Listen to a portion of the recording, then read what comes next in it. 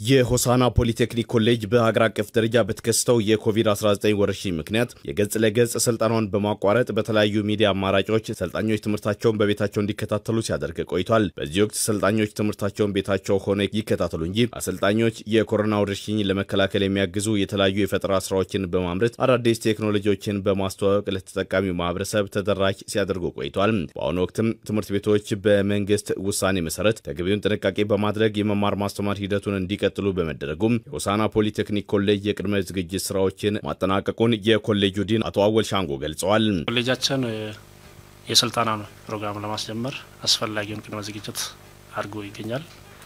ኮቪድ ከመከላከል አንጻር መጀመሪያ ከግቢ መግቢያ በር ላይ ሙቀት መለኪያ መሳሪያ አለ። ወደዚህ ወደ ተቋሙ የሚገባ ሰልጣኝም ተገልጋይም የኮሌጁን ሰራተኛ እዛ ሙቀታቸውን ተለክተው ወደ ግቢ ውስጥ ከገቡ በኋላ ከእጅ ንክኪ ነጻ የሆነ የእጅ መታጠቢያ አለ። እዛ እጃቸውን በውሃና በሳሙና ታጥበው ወደ class ይገባሉ።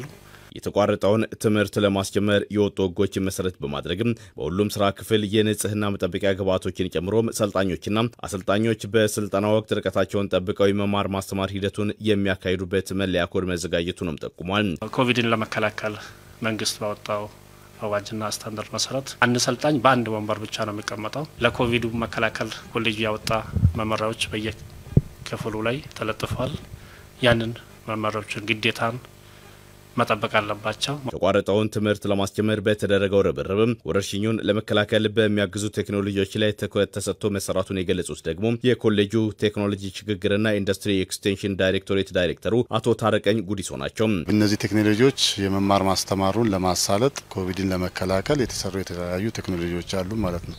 እነዚህም ቴክኖሎጂዎች class ኦችን የማጽጃ የኬሚካል መርጫ መሳሪያዎች፣ የእጅ መታጠቢያ ከእጅ ንክኪ ነጻ የሆኑና በ sensor የሚሰሩ የሳኒታይዘር ቴክኖሎጂዎች ተዘጋጅተዋል ማለት ነው።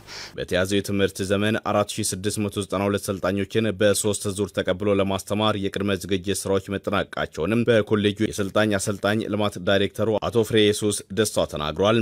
የመማሪያ class class ኦችን ማመቻቸት፣ ወርክሾፖችን ማደራጀት ስራ አንዱ ሆኖ ሰልጣኞች በሶስት ዙር የስልጠና ክፍለ ጊዜ ተለይተው ስልጠናቸውን እንዲከታተሉ ዝግጅት ተደርጓል። በኮሌጁ የተደረጉ የዝግጅት ስራዎች በተለይም የስልጠና ክፍሎች ቀለም የመቀባትና ኬሚካል የመርጫ ስራዎች ኮቪድ-19ን ለመከላከል የተሰሩ አበረታች ስራዎች እንደሆኑም የሰልጣኝ ተማሪዎች መማክር ፕሬዚዳንት አቶ ፋሲል ደሳለኝ ተናግረዋል። በኮሌጁ ከሰልጣኝ መካከል ድንገት በኮሮና ቫይረስ ቢጠረጠር የማቆያ ክፍል ከማዘጋጀት ጀምሮ የካይዘን ፍልስፍናዎችን ተግባራዊ በማድረግ ኮሮናን የመከላከል ስራዎችም በተማሪዎች መማክርት ፕሬዚዳንት ጠንካራ የመከላከል ስራዎችም ተሰርተዋል።